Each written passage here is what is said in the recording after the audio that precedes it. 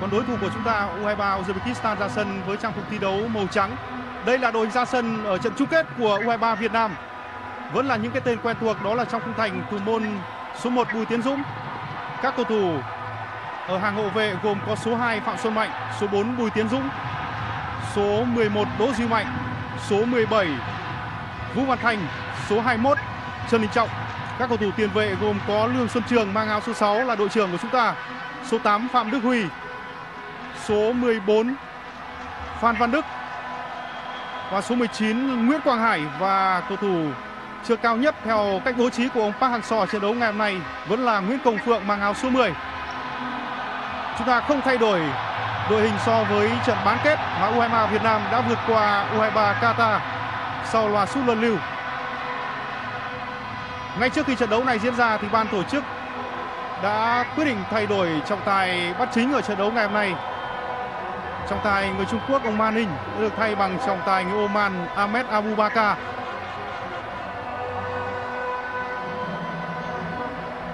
Đây là đường xuất phát của U23 Uzbekistan ở trận đấu này.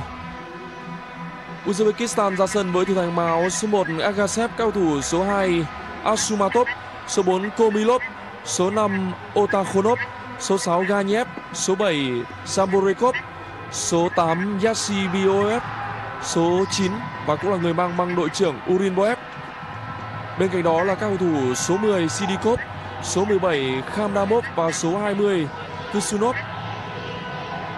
Một trận đấu rất đặc biệt của huấn luyện viên Park Hang-seo khi mà ông đã đưa hành trình của các học trò đi tới trận đấu cuối cùng và hy vọng rằng với những kinh nghiệm ở một nơi cũng thường có những trận đấu diễn ra dưới điều kiện tuyết rơi đầy huấn luyện viên Park Hang-seo sẽ mang lại cho chúng ta những tư vấn và những chỉ đạo cần thiết thêm một cuộc đấu trí nữa của huấn luyện viên Park Hang-seo với những huấn luyện viên hàng đầu đang huấn luyện ở khu vực châu Á. Trong hiệp đấu đầu tiên trên một mặt sân có lẽ giống nhiều hơn với sân của môn khúc côn cầu. U23 Việt Nam bảo vệ cầu môn ở bên phía tay trái màn ảnh của chúng ta. Mặt sân đúng là rất giống với môn khúc côn cầu trên băng. Tôi không hiểu là trong đội hình của U23 Việt Nam đã có cầu thủ nào trải qua cảm giác thi đấu dưới điều kiện thời tiết như thế này chưa? Có lẽ là chưa. Còn đây là một điều kiện thời tiết quen thuộc với các cầu thủ Uzbekistan.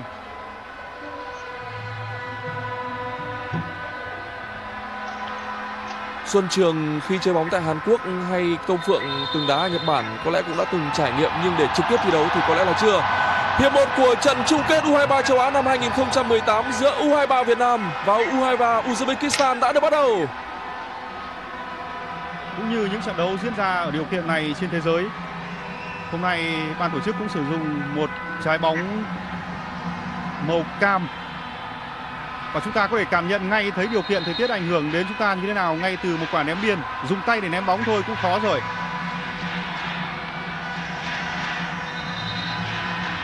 thách thức vừa được dành cho Xuân Mạnh.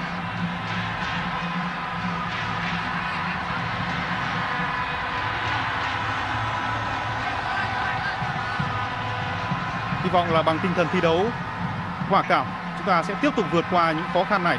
Công Phượng.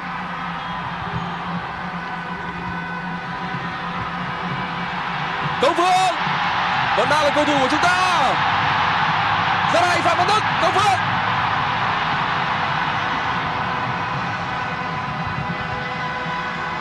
rất khó để quan sát.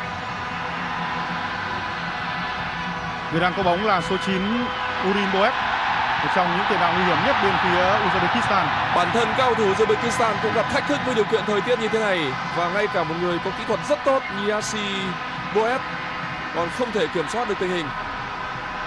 Yassi Boev đang là một trong những cái tên nổi bật nhất của U23 Uzbekistan khi đã có tới 3 pha lập công. Và phần lớn trong số đó là những pha ghi bàn rất ấn tượng tất nhiên là điều kiện thời tiết khó khăn và khắc nghiệt như thế này đã nằm trong dữ liệu của ban huấn luyện đội tuyển U23 Việt Nam và trong những buổi tập gần đây và trước trận đấu này thì ờ, huấn luyện viên Park Hang-seo và các cộng sự cũng đã có những giải pháp cho các cầu thủ của mình. Ở điều kiện mặt sân này thì chắc chắn cầu thủ sẽ phải đi những đôi giày khác chuyên thi đấu trên mặt sân có tuyết, có băng đế giày thường là ít đinh hơn so với khi thi đấu trên mặt cỏ bình thường. Trọng tài thổi phạt chân sút Urin Doet.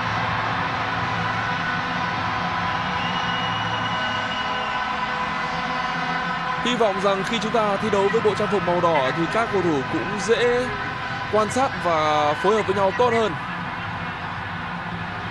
Tôi màu áo của. Uzbekistan vâng, màu áo của Uzbekistan đang là màu trắng.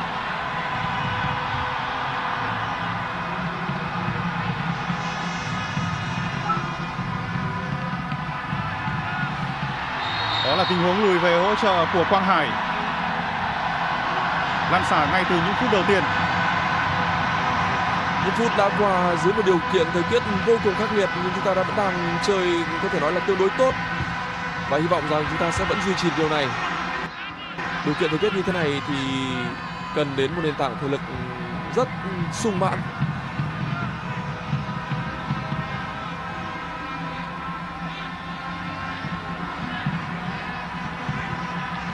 Sức mạnh của cao thủ Uzbekistan ở giải đấu năm nay là điều không phải bàn cãi.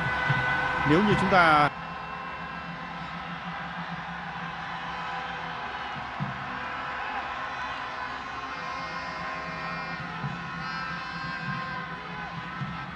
và đương kim vô địch, đương kim Á quân Nhật Bản và Hàn Quốc với cách biệt rất lớn với tỷ số lần lượt là 4-0 và 4-1.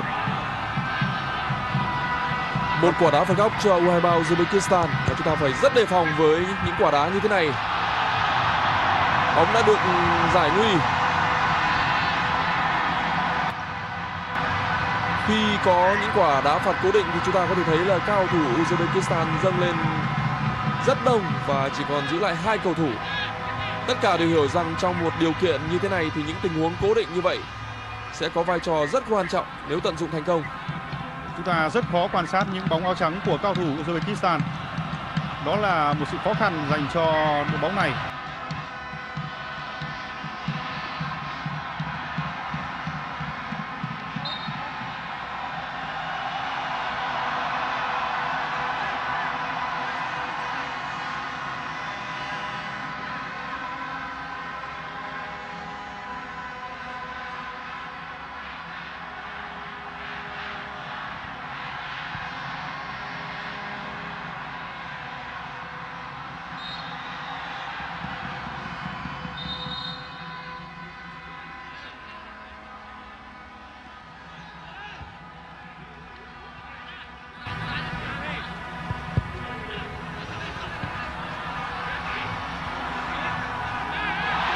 Đến chân các cầu thủ chúng ta Công Phượng.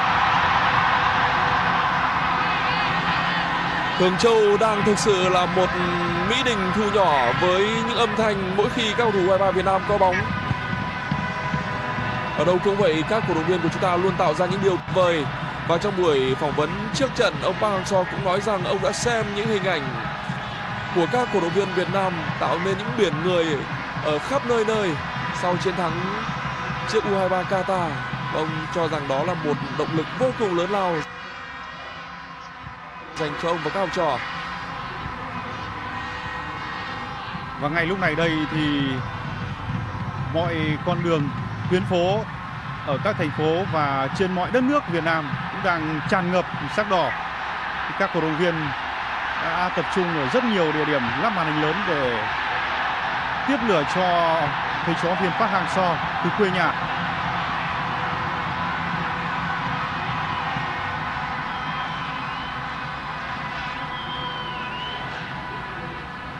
Dù kết quả trận đấu này có như thế nào thì chúng ta cũng đã là những người chiến thắng rồi. Trong con mắt của người hâm mộ bóng đá Việt Nam, các cầu thủ U23 Việt Nam đã vô địch rồi. Ngay sau chiến thắng quả cảm trước U23 Iraq ở vòng tứ kết thì chúng ta cũng đã trao cho họ danh hiệu những nhà vô địch trong trái tim của người hâm mộ.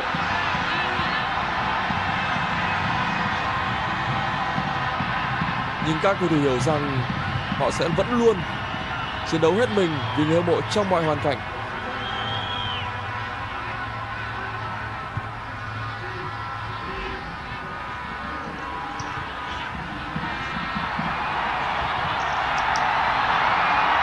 Rất kịp thời, đó là pha phá bóng kịp thời của Tiến Dũng.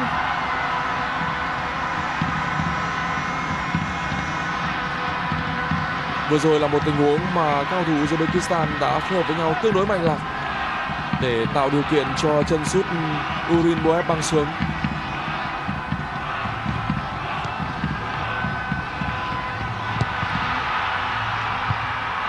Như vậy là Uzbekistan đã có bàn thắng.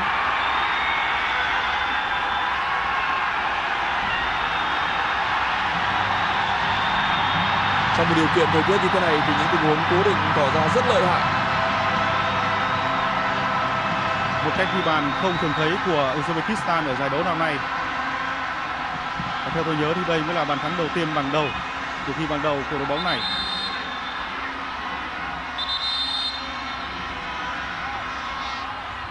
Tôi có cảm giác là thủ môn Tiến Dũng cũng còn giật mình khi mà rất khó để quan sát thấy trái bóng trong điều kiện như thế này.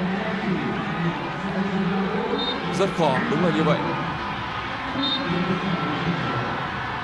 Tuyết rơi ảnh hưởng tới tầm quan sát. Pha ghi bàn của Asumatov.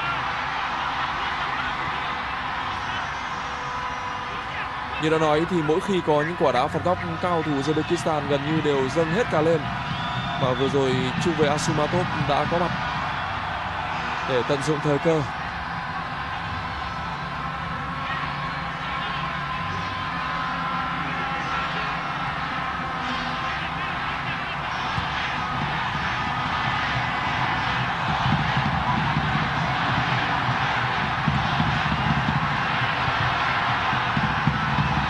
Đây không phải lần đầu tiên U23 Việt Nam bị đối thủ dẫn trước ở giải đấu năm nay. Ngay ở trận bán kết vừa qua thì chúng ta cũng đã bị đối thủ U23 Qatar dẫn trước. Nhưng rồi thì điều gì diễn ra và kết quả như nào chúng ta đều đã rõ. U23 Việt Nam đã thể hiện tinh thần thi đấu kiên cường, giữ chân đối thủ sau cả 120 phút để rồi giành chiến thắng sau loạt sút luân lưu cơn não. Văn Thanh Chiếc thẻ vàng là điều đương nhiên.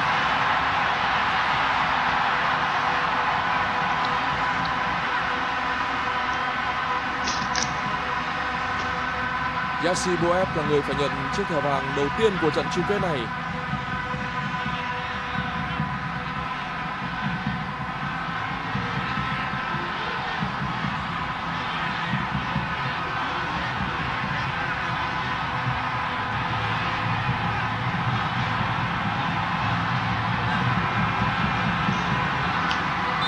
Cũng có thể hy vọng vào một tình huống cố định như thế này.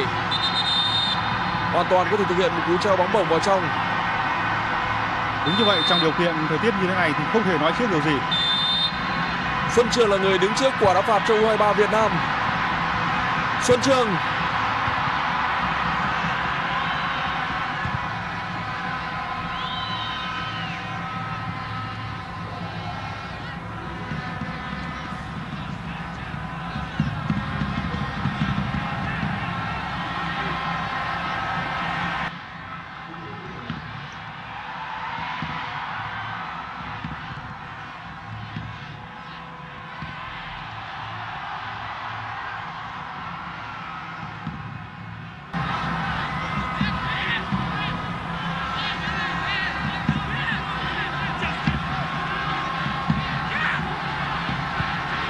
lực vẫn đang rời rất dày.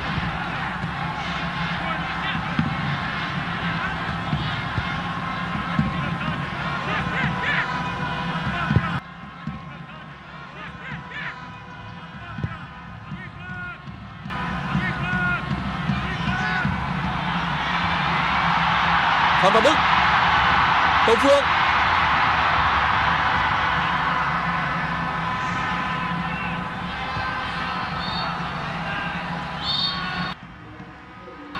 tài thổi phạt Tiến Dũng Pha dâng lên rất cao của trung vệ Bùi Tiến Dũng.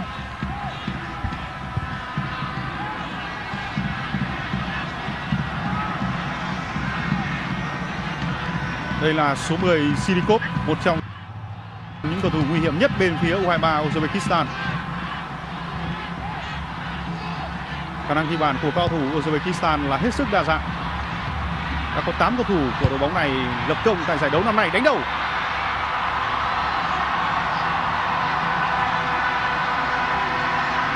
Anh Dũng có thấy là khác hẳn những trận đấu trước trận này Uzbekistan thiên về chơi bóng bổng hơn rõ ràng dưới điều kiện thời tiết như thế này thì đó là lối chơi mà đội trình tin rằng họ sẽ sử dụng ở trong trận đấu suốt cả trận đấu ngày hôm nay chứ không chỉ là trong những phút đầu tiên vừa qua.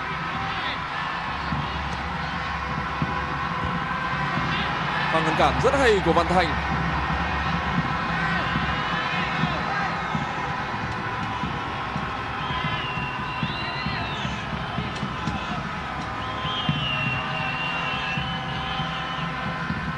Quyết định thổi phạt góc ừ, có vẻ như không chính xác. Trong điều kiện như thế này thì chúng ta, quả thật là không thể không lo lắng mỗi khi đội bạn đang hưởng những quả đá phạt góc.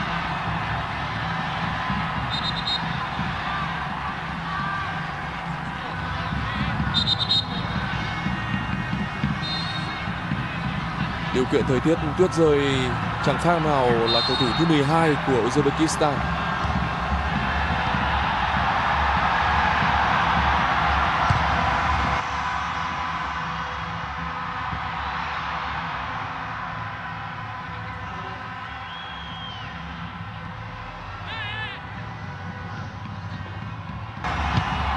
Một pha bóng kịp thời Quang Hải Vẫn là Quang Hải.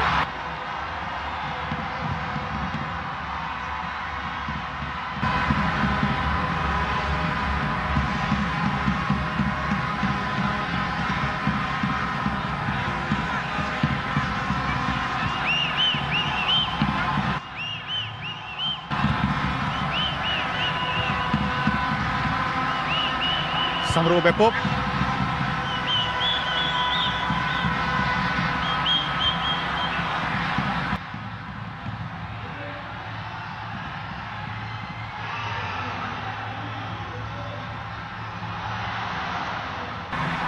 Công Phương áp sát. Vẫn là các cầu thủ của chúng ta Đức Huy, Xuân Trường Phan Văn Đức không được. Nếu có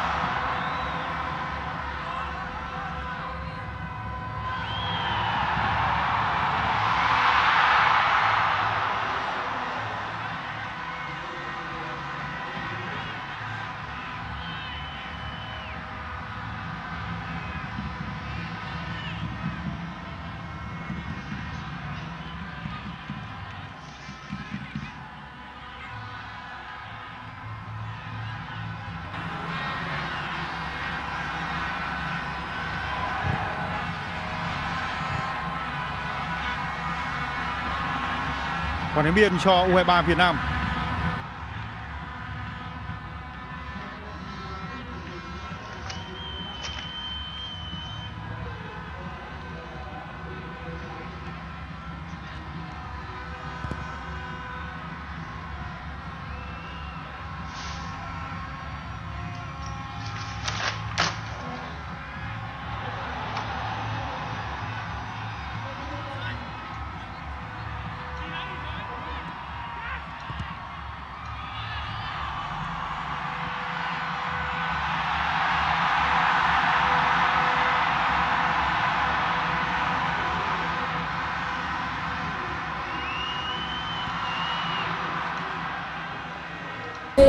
Quá nhiều tuyết nên ở những khoảng cách ừ, trung bình thì các cầu thủ cũng không dám truyền sệt mà buộc phải truyền bổng lên dẫn tới độ chính xác.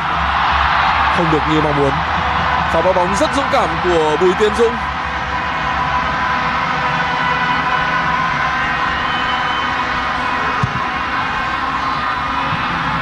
Ở những trận đấu trước, các cầu thủ của chúng ta đã nỗ lực với hơn 100% khả năng của mình, thậm chí là 200% trận đấu ngày hôm nay với điều kiện như thế này thì có lẽ là chúng ta còn phải nỗ lực nhiều hơn nữa.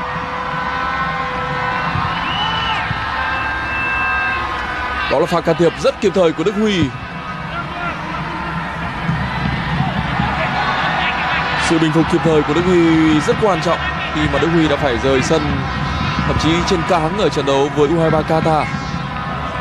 Duy Mạnh cũng vậy sau một cú đá rất mạnh của đối phương vào mặt thì à, Duy Mạnh ở trận đấu trước đã bị chảy máu mũi cũng buộc phải rời sân nhưng cả hai đều đã kịp trở lại cho trận đấu ngày hôm nay.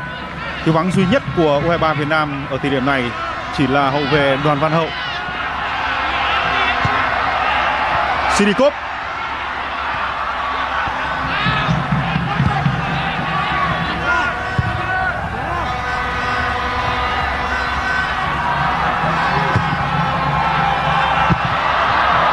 bóng của Tiến Dũng.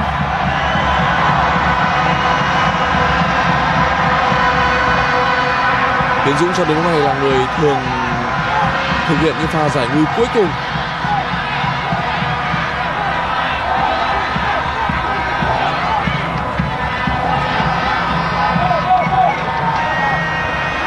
Đình Trọng, Duy Mạnh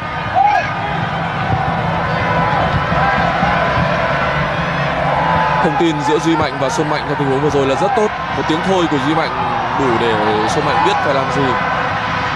Chúng ta có thể nghe rất rõ âm thanh đó. Và như chúng tôi đã từng bình luận thì thông tin của các cầu thủ trên sân là một trong sự thay đổi lớn dưới thời huấn luyện Park Hang-seo.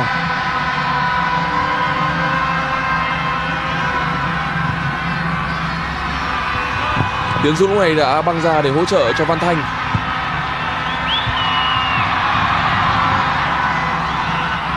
Quá khắc nghiệt với điều kiện thời tiết như này Hoan hô Tiến Dũng Hoan hô Tiến Dũng Một pha bắt không dính bóng, Nhưng trong điều kiện thời tiết như hiện tại Thì đó vẫn là một pha cản phá tốt Quả là một trận đấu lịch sử với bóng đá Việt Nam cả về khía cạnh thời tiết. Và đây chắc chắn cũng là một trận đấu sẽ đi vào sử của vòng chung kết U23 châu Á. Lối đẩy sau của cầu thủ Uzbekistan với Phan Văn Đức. Tôi nghĩ không chỉ là lịch sử của giải U23 châu Á Mà có lẽ là lịch sử của cả bóng đá thế giới Vì một trận chung kết quan trọng như thế này Chắc không nhiều khi được ban tổ chức quyết định vẫn thi đấu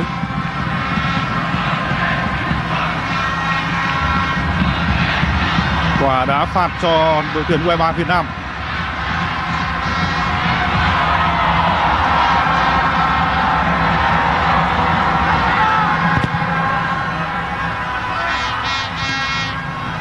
Rất hay Đức Huy. Đọc tình huống quá tốt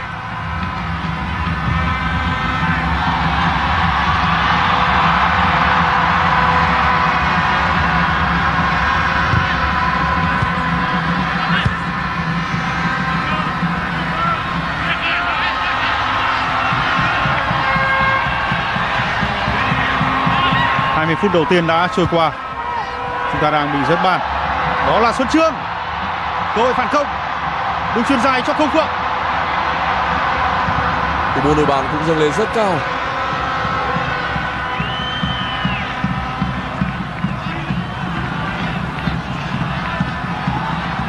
Với một mặt sân như thế này thì khi chúng tôi phân tích có lẽ không cần tới bản đồ nhiệt nữa. Bởi chỉ nhìn, nhìn những uh, dấu giày ở trên sân cũng có thể biết được phạm vi hoạt động của mỗi đội.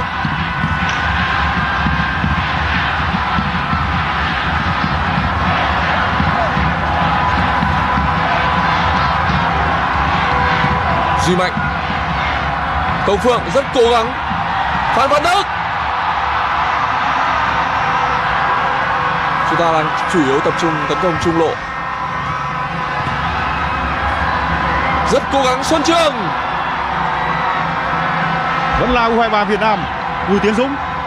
Đội hình của U23 Việt Nam đã được đẩy lên rất cao.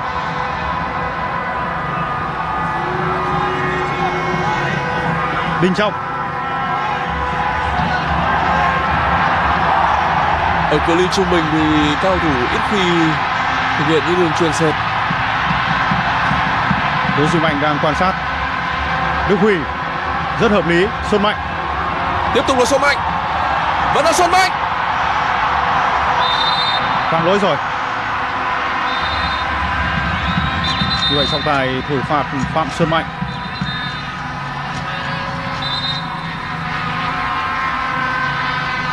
Xuân Mạnh định tạo ra yếu tố bất ngờ trong pha xâm nhập vừa rồi Uzbekistan giữ nguyên đội hình so với những cầu thủ đã ra sân, loại U23 Hàn Quốc và vượt qua Nhật Bản ở vòng tứ kết và bán kết. có vẻ như xuân mạnh chưa phát hiện ra mình đã bị tuột dây dày bên phía chân trái.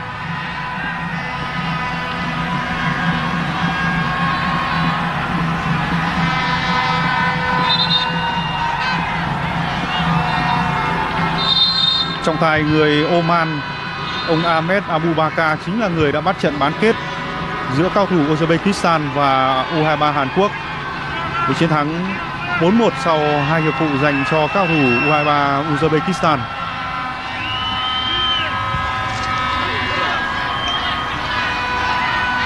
Samro Bekov Quả đá phạt cho các cầu thủ của chúng ta.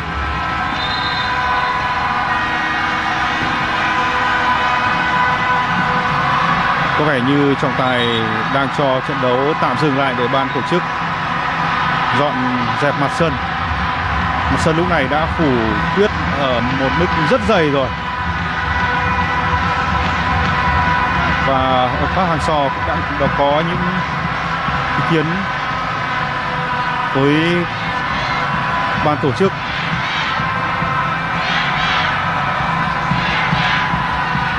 sân đang ở tình trạng gần như không thể thi đấu được Tuyết rơi càng lúc càng dày hơn.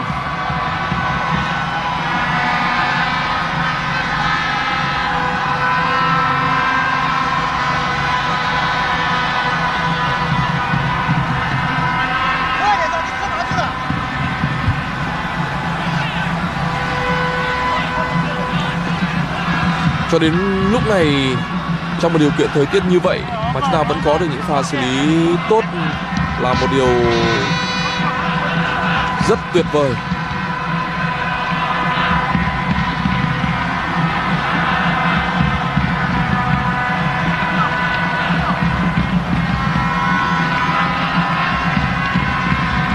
Tuyết rơi khiến cho đường biên không còn nhìn thấy và cần tới công tác dọn tuyết để giúp cho các trọng tài có thể nhìn rõ hơn đường biên ngang, đường biên dọc, vạch giữa sân. vậy đó chỉ là một công việc dọn dẹp các vạch kẻ ở trên sân thôi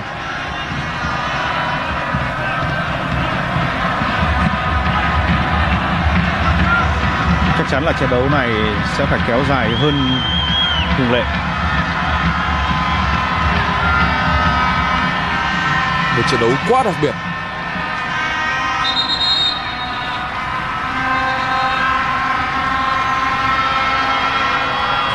Rất có thể sẽ là một cú treo bóng bổng vào phía trong của Duy Mạnh.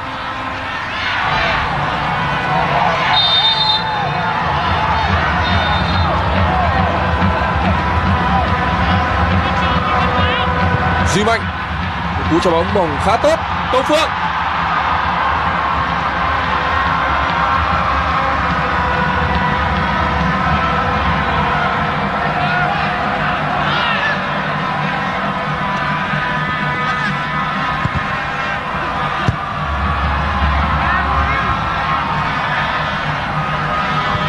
Sirikov rất kịp thời đó là Đức Huy. Pha đọc tình huống rất hay của Đức Huy. Công Phượng. Và pha bóng lên của Văn Thành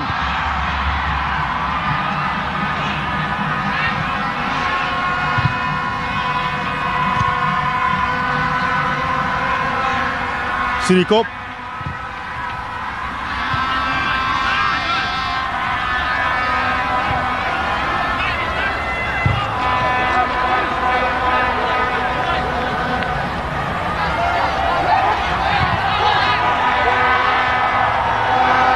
thủ của chúng ta đang tích cực áp sát ừ, ngay bên phần sân của Uzbekistan.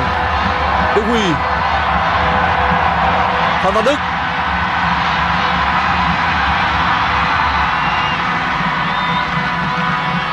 Xuân Mạnh.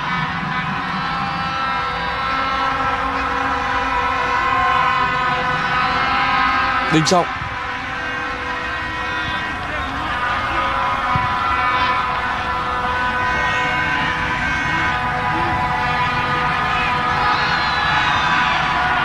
Duy Mạnh. Trong số các trung vệ thì Duy Mạnh là người có khả năng truyền dài tốt, bởi đã từng đá vị trí tiền vệ trung tâm.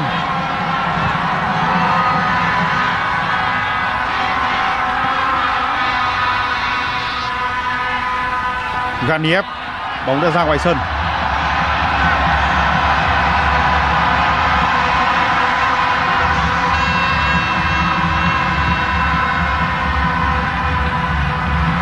Cả U23 Việt Nam và Uzbekistan đều khởi đầu giải đấu năm nay bằng một thất bại. Sau đó thì càng thi đấu, cả hai đội đều càng tiến bộ và càng thi đấu hay hơn để đi một mạch đến trận đấu cuối cùng. Đây sẽ vẫn là tình huống mà có lẽ Xuân Trường sẽ treo bóng bổng vào trong khu vực cấm địa. Cú đá phạt của Xuân Trường. Không tới được vị trí của Công Phượng. Uzbekistan phản công. Xuân Mạnh rất tốt, Đó là Đình Trọng. Quá hay. Những pha xử lý cực kỳ tốt của Đình Trọng Trong một điều kiện thời tiết vô cùng khắc nghiệt Và khiến cho những bậc thầy kỹ thuật của Uzbekistan cũng không giữ được sự bình tĩnh. Có lẽ sẽ có thể phạt dành cho số 8 Yassiboev Một hành vi thiếu fair play.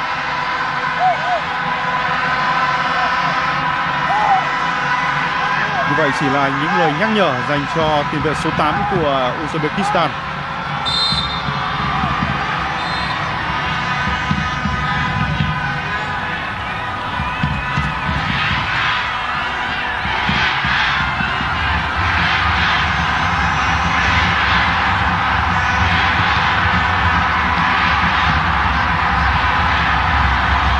Trong cơn mưa tuyết ở Thường Châu chúng ta vẫn đang nghe rất rõ những tiếng hô Việt Nam trên khán đài.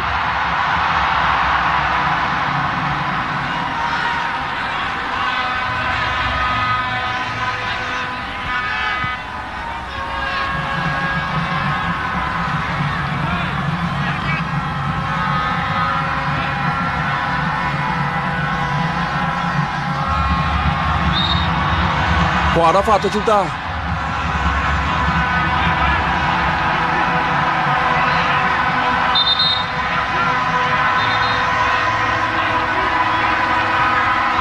viên Park Hang Seo dưới cơn mưa tuyết đang tích cực chỉ đạo các học trò.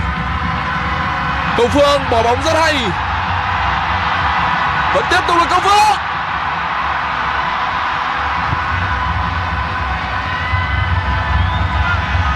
Những áp lực mà chúng ta có được trong khoảng 10 phút vừa qua là tương đối đáng kể.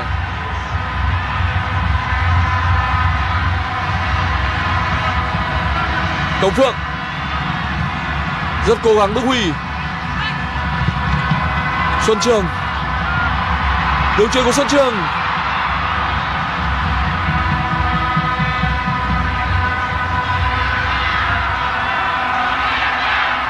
Raxiboev Sirikov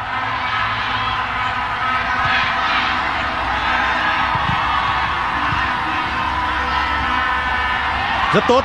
Xuân Trường.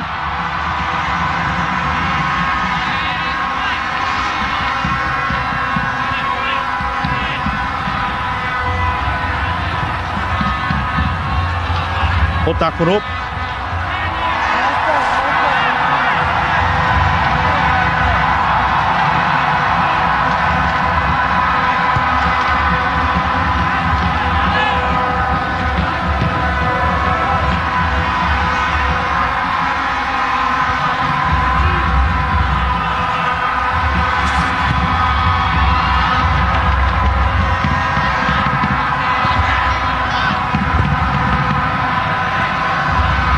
Tiến Dung.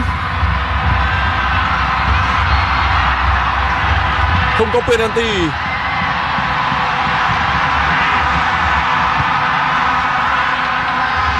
Vẫn là các cầu thủ của chúng ta.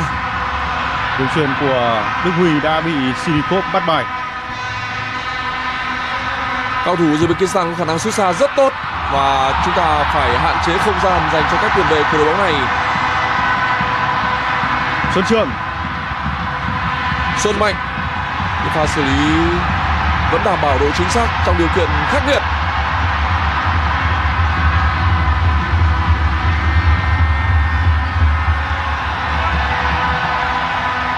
Ganiev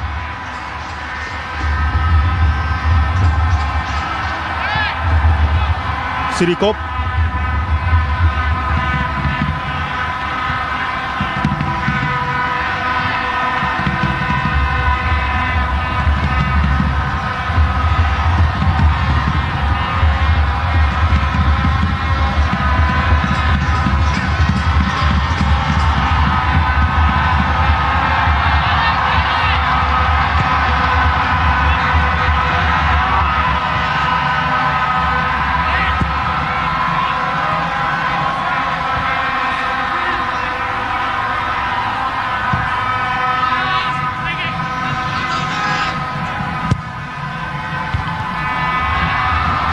cú chơi bóng vào trong. Công phương.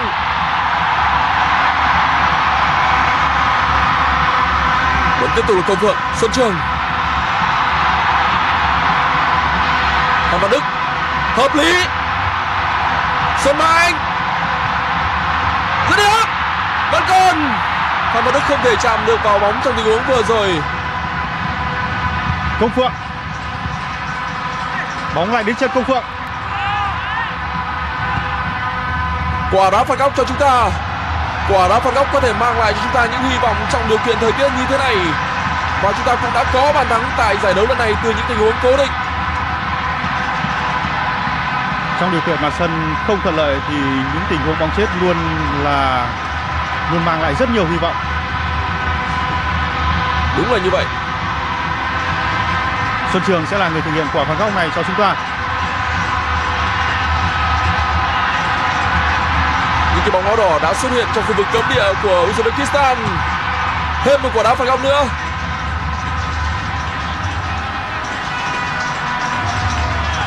Đội bóng áo trắng cũng đang kéo toàn bộ đội hình về để bảo vệ khung thành.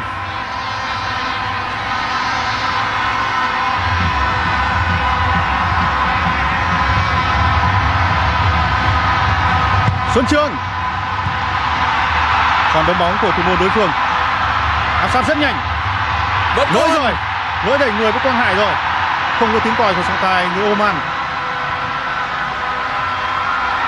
Bóng đã trở lại với quyền kiểm soát của U23 Việt Nam.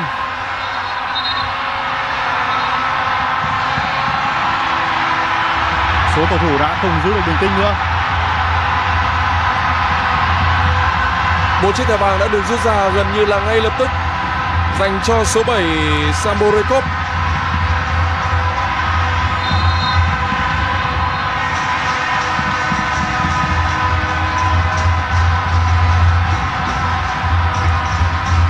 Như vậy là lúc này Uzbekistan đã có hai cầu thủ phải nhận thẻ vàng.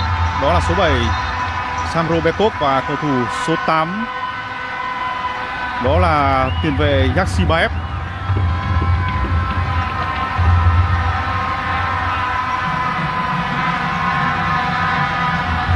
không phải ngẫu nhiên mà ban tổ chức quyết định thay đổi trọng tài khi cho đến nay thì ông Abu Bakar tỏ ra là một người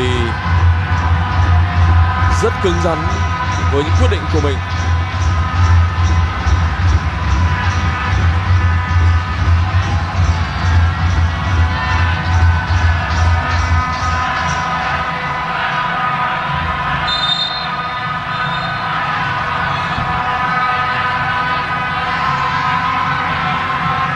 Gan Nhiếp Tiến Dũng.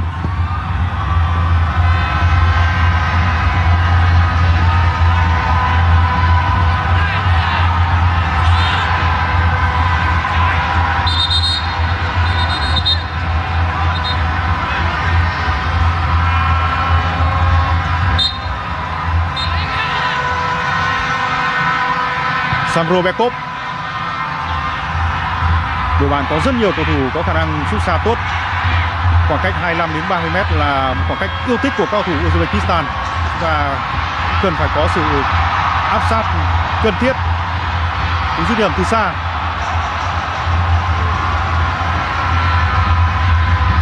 Không ít những bàn thắng đã được ghi tại giải đấu lần này từ những quả sút xa, trong đó có cả một pha ghi bàn rất hay của Ganev bàn thắng mà Ganev ghi được vào lưới của Hàn Quốc là một pha xử lý tốt. Còn đây là tình huống mà Quang Hải đã ngã. Và tình huống mà Đình Trọng đã phá trúng bóng trong khu vực cấm địa.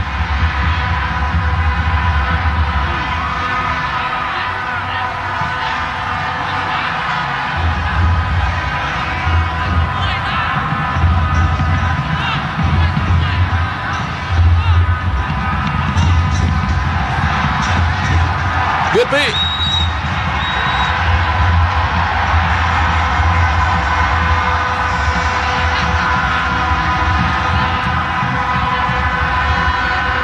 quá chính xác với quyết định của các trọng tài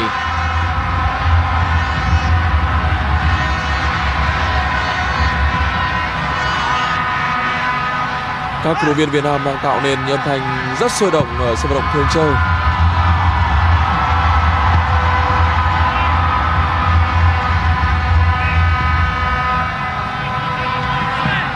tốc độ rất tốt của số 9 Orinbev bên phía Uzbekistan. Rất hay! Xuân Trường đọc tình huống cực nhanh. Các cầu thủ của chúng ta vẫn đảm bảo được sự bóng lót cần thiết. Cự ly đội hình của chúng ta cũng vẫn đang được duy trì tốt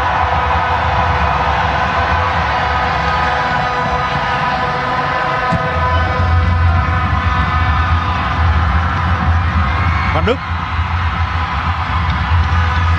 Xuân Mạnh. Đây là Đức Huy. Đường truyền hơi non của Đức Huy. Bóng đến chơi các cầu thủ 23 Việt Nam. Quang, Quang Hải. Hải. Vẫn là Quang Hải. Có thể sút xa không đủ lực khi mà bóng quá trơn. Thời tiết quá lạnh và mặt cao thủ của U23 Việt Nam gần như là đã đỏ ngầu cả lên. Sự khác biệt quá lớn.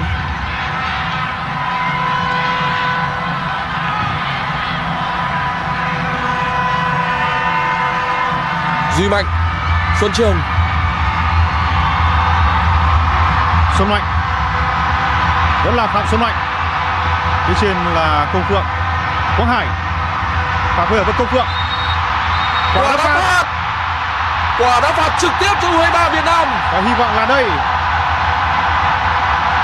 Ông Park Hang-seo hiểu rằng đây là một quả đá phạt rất giá trị nên ngay lập tức tiến ra để chỉ đạo với những ký hiệu riêng dành cho các học trò của mình. Quả đá phạt do Công Phượng mang về sau đường truyền trong khe của Quang Hải. Chúng ta có rất nhiều cầu thủ có khả năng thực hiện tốt quả đá phạt ở cự ly này. Đó là Quang Hải đó là Xuân Trường và đó, đó là, là Công, Công Phượng. Phượng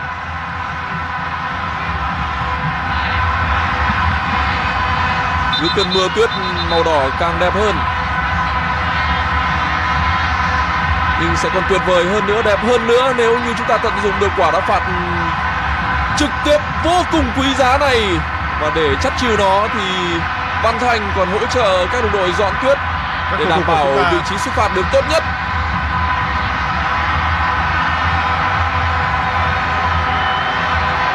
Vừa rồi các cầu thủ của chúng ta đã làm thay công việc của những nhân viên dọn mặt sân. Hy vọng chúng ta sẽ được đền đáp với cơ hội này. Quang Hải Xuân Trường là hai cầu thủ đang đứng trước cơ hội để chúng ta có bàn thắng gỡ hòa. Quang Hải đá!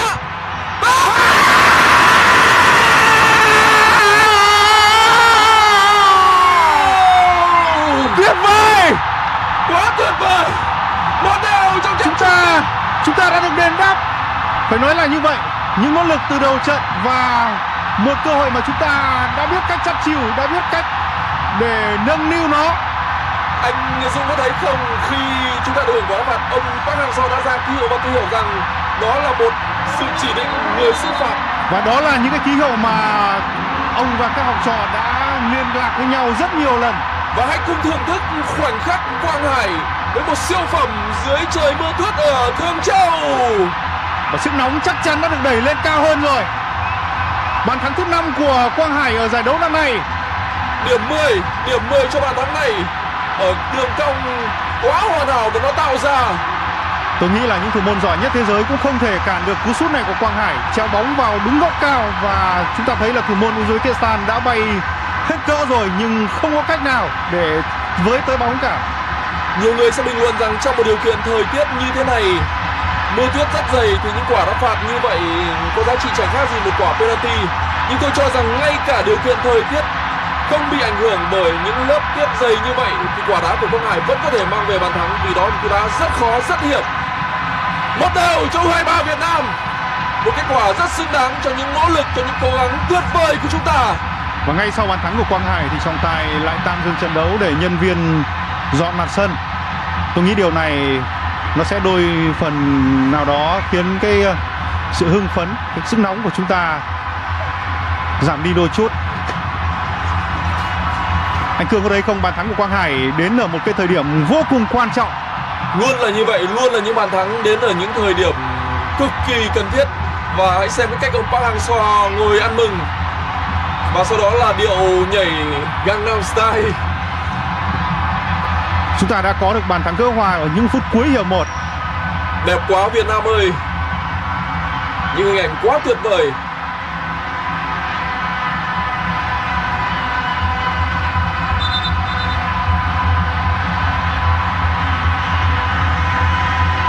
Những phút thi đấu chính thức cuối cùng của hiệp 1 và bàn thắng là vô cùng quan trọng với U23 Việt Nam.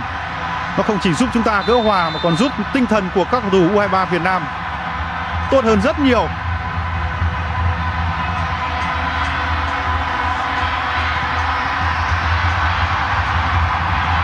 Công Phượng là người mang về quả đá phạt trực tiếp và trước đó cũng là nhiều tình huống mà các cầu thủ của chúng ta sẵn sàng có những pha xử lý kỹ thuật ở ngoài khu vực 16m50.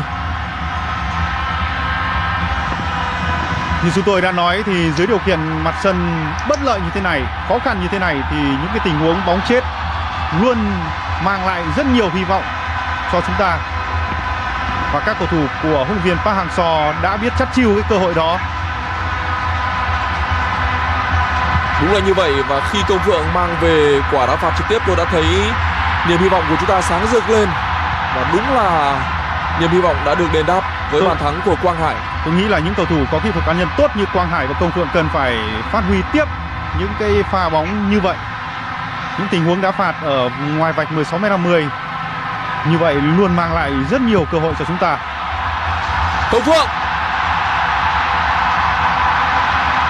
Và là Công Phượng cực kỳ khôn ngoan.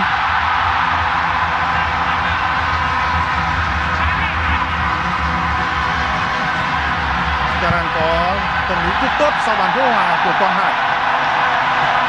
Hy vọng rằng với bệ phóng tâm lý đó chúng ta sẽ tận dụng những phút cuối của hiệp 1 này để tạo ra lợi thế. Vì chúng ta đều biết rằng trong điều kiện thời tiết như thế này thì sang hiệp 2 chúng ta sẽ phải đối mặt với nhiều thử thách trong đó có thử thách về thể lực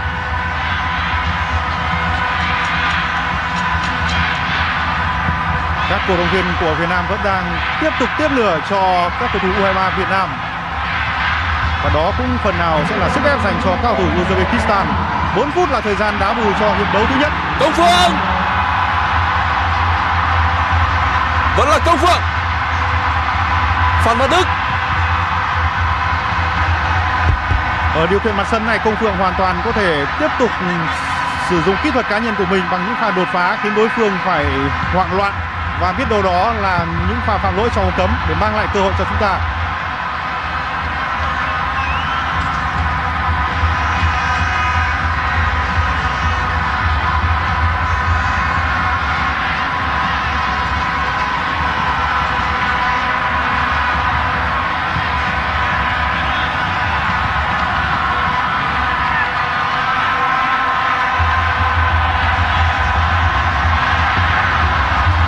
Âm thanh càng lúc càng lớn hơn. Thì chúng ta sẽ phải vẫn hết sức đề phòng với những tình huống mà Uzbekistan lên bóng như thế này. Không khó khăn. Cú đá ăn quá nhiều ra bóng ngoài. Đó là cú dứt điểm của Khamdamov cầu thủ đang sở hữu nhiều bàn thắng nhất bên phía Uzbekistan. Đã rất nhiều lần U23 Việt Nam vượt qua những nghịch cảnh. Và cho đến lúc này của trận chung kết U23 Việt Nam cũng đã vượt qua nghịch cảnh từ thời tiết cho tới việc đối thủ vươn lên dẫn trước.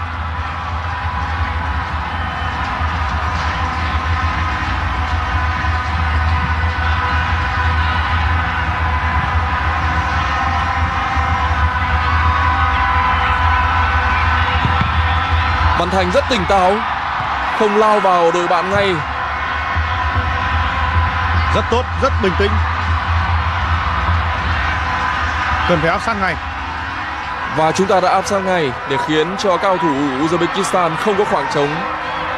Và thực hiện những pha sút xa sở trường. Kumilov. Rất khó để qua Xuân Mạnh.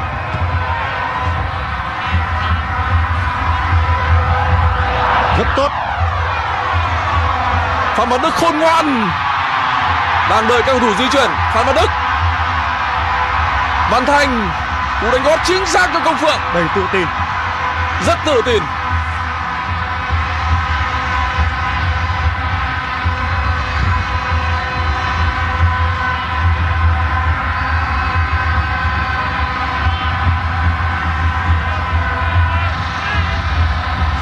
Không có lỗi của Bùi Tiến Dung, Không có lỗi.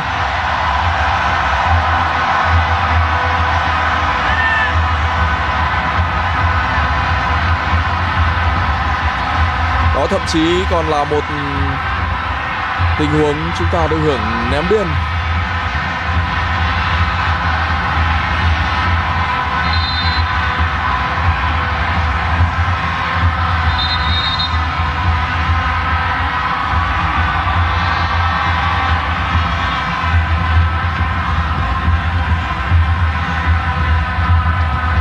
Chỉ còn ít giây nữa là 4 phút bù giờ sẽ hết.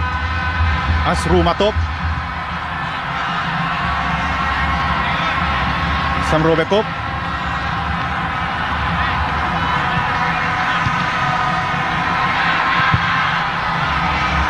Tiến Dung cực kỳ chính xác Ngày mai là sinh nhật của Tiến Dũng rồi và hy vọng anh cùng với các đồng đội sẽ có một món quà tuyệt vời. Hiệp 1 của trận chung kết đã kết thúc với tỷ số hòa 1 đều và đó là hiệp đấu rất thành công của U23 Việt Nam.